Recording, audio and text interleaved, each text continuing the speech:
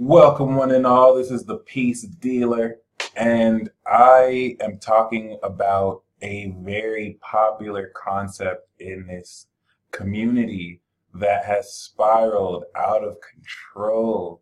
Although I will say there is, through experience, some more wise and mature ways of seeing this. So, if you personally feel you have a twin flame, if you personally feel you've been on this journey, then this video is definitely for you. Okay.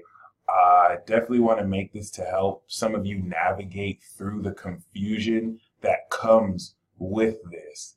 Um, when we speak of soulmate relationships, when we speak of sacred partnerships in that sense, it's important to know there are so many different types. There are so many different combinations of souls that can get together. If you have ever seen the World War Zero series on my playlist, go check out Karmic Connections. I talk about one aspect of them.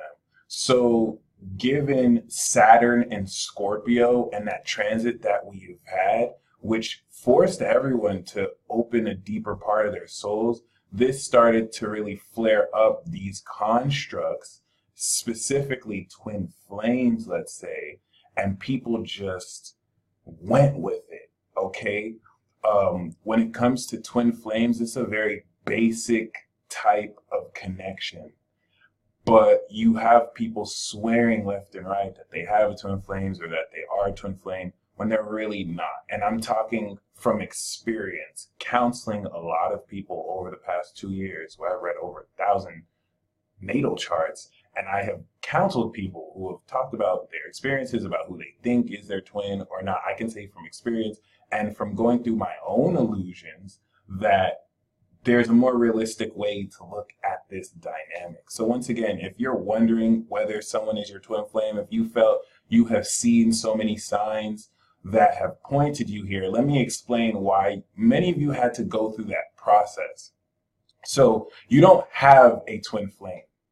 A twin flame is a being that you are. A twin flame is speaking of one existence that has been split into two, theoretically. Okay. The problem here is that you have people with limited human experiences taking a sacred relationship that is outside of you in just this physical vessel, and they're looking at it with that limited perspective when they see someone else who they have the hots for, or that their subconscious has put them on a synchronicity train with and for, when that person is just meant to hold space, you think that that person is your twin flame. An individual, a human being cannot be a twin flame. A twin flame is taking the whole multi-dimensional experience of yourself and encapsulating that in everything with everything. So it's more accurate to say that your twin flame is like every dimensional version of yourself the 3D, the 5D, the 6D, the 7D. And that's why I've, I've been saying for a while now when you want to connect with a twin flame, you need to connect with a soulmate. And maybe that soulmate can connect with that twin flame vibration. A twin flame is not a person, it is a vibration. And this is why I've said if you want to connect with your twin flame, don't look for somebody, walk your path. If you walk your path, all right, you'll find it. Now, I've also mentioned that when I say twin flame, I'm saying this is just a code name. It's not, twin flames are not real, like at all. It's, it's a sacred partner that you may be looking for. A twin flame, once again, is a vibration. And the reason why I say Gemini, if you have a Gemini moon, if you have a Gemini sun or rising or Venus or any energy there, Gemini sponsors the vibration of twin flames because if you take the twin dynamic and the mutable sign of Gemini, which takes perception and then splits it through duality, this doorway into spirit allows you to actually harness the vibration. And so sun in Geminis, moon in Geminis, they'll be like mini twin flames that can bring other people to connect with their own authentic self. A Gemini is going to mirror your energy so you are originally speaking your truth. And this helps you align with that twin flame relationship. Whenever you see someone saying, I think someone's my twin flame, I think someone is my twin flame, they're saying they think someone is their sacred partner. Okay, so everyone watching this, when you feel like someone is your twin, you're really at a soul level wanting to connect with a soulmate. I really hope you, pro- I really am promising you, trust me when I say you, re- you need to let go of this delusion of looking for that one person that's going to fulfill everything and that's going to perfectly balance you. It is true that a twin flame, you only have one, but it's not literal like this because you, I am not just this physical vessel. You are not just this physical vessel. You as a existential being, all right, not as a human, but you as a being exist on more than this plane. Even Neil Tyson Degrassi, I don't think I'm saying his name right, had alluded to how there are higher dimensional states of existence that your five senses may not be able to perceive yet. And this goes the same way. You have higher light bodies that exist in, in dimensions we may not be able to process now. So when you take this cosmic concept, divine, that's way bigger than you, and you limit it to, to it having to fit in your template, this is where confusion comes. The way twin flame relationships may work is in the sense where a sacred partner could be a soulmate who embodies this twin flame vibration and mirrors you at a higher percentage than other people. This is where it comes into how, oh, more than one person can be your twin flame. It's not that more than one person can be your twin flame. It's that that soulmate is able to, in a compatible sense, reflect more of your authentic vibration than others. So I'm trying my best to have you walk away from this limited perspective to looking at someone as a human. That's why I say the twin flame relationship is supposed to help you ascend out of this limited perspective to look bigger, but not to use it as a crutch to look smaller. Okay.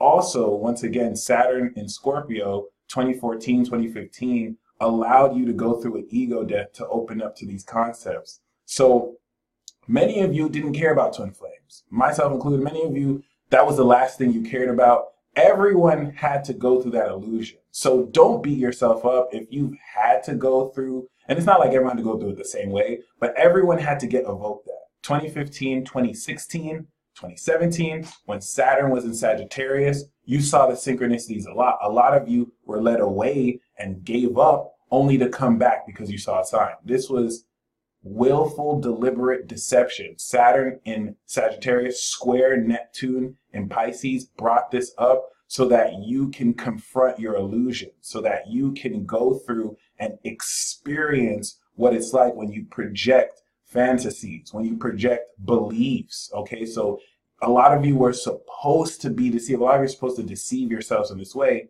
so that now that Saturn is in Capricorn, we can let go of this twin flame delusion we can now see realistically where we might have projected wrong.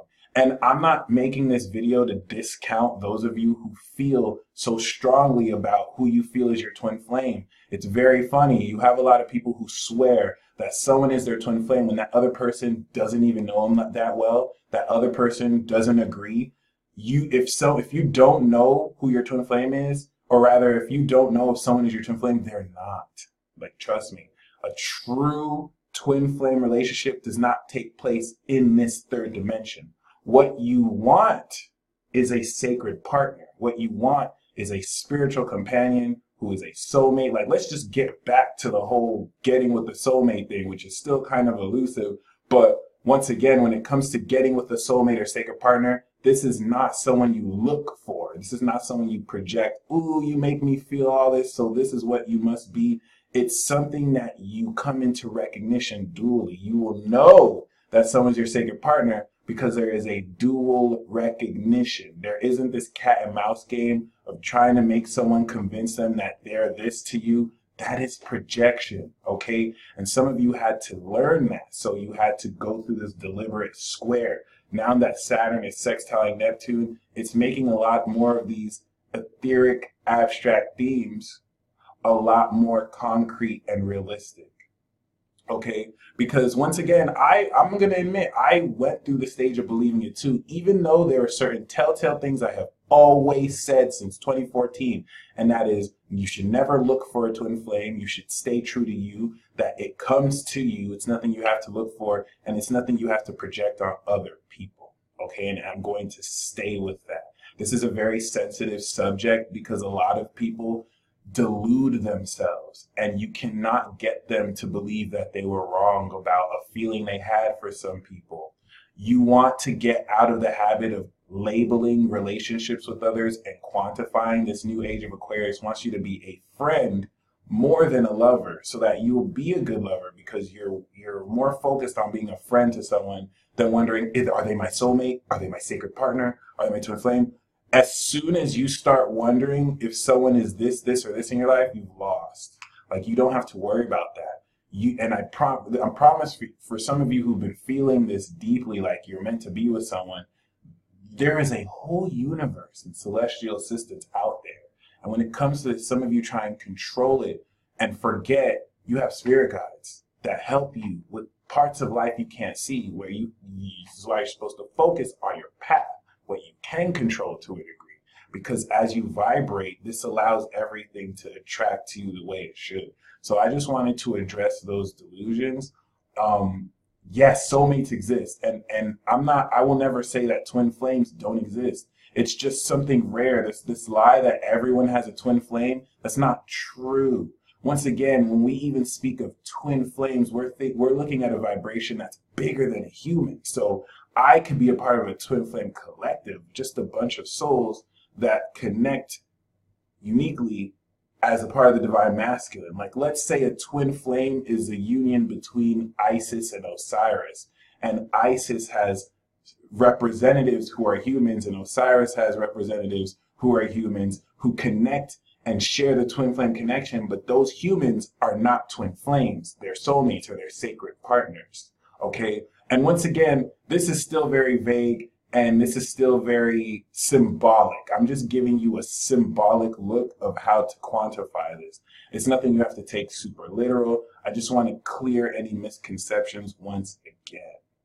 So, especially moving forward, that we have this sextile, stop looking for your twin flame. Watch my secret to soulmate video if you want more understanding. Stop looking for your twin flame. When I was giving people twin flame readings, I was giving people twin flame readings so that through my channel they can get the reading and realize you're really looking for a soulmate. This is not your twin flame. Like I was I was helping reverse some delusions here. I wasn't trying to like sell and prey on people who think they know their twin flames because in the rare case some of those people are actually connected in that twin flame path. It's just a rare, it's a rare minority. So you have the rare minority, you have the majority who's not really in it, who have been deluded to think they're in it, and then you have this very confusing, subconscious, illusory patterning that had to be brought to the surface 2015, 2016, 2017, so you could see now where you lie to yourself. You can see now with the light of consciousness where you are unconscious in patterns. And the twin flame delusion was part of it. It wasn't the only one, it was part of it. So this is empowering. A lot of you feel that you have a special someone out there that you're supposed to connect with, and you do, but it's just not limited to one. That's a fairy tale.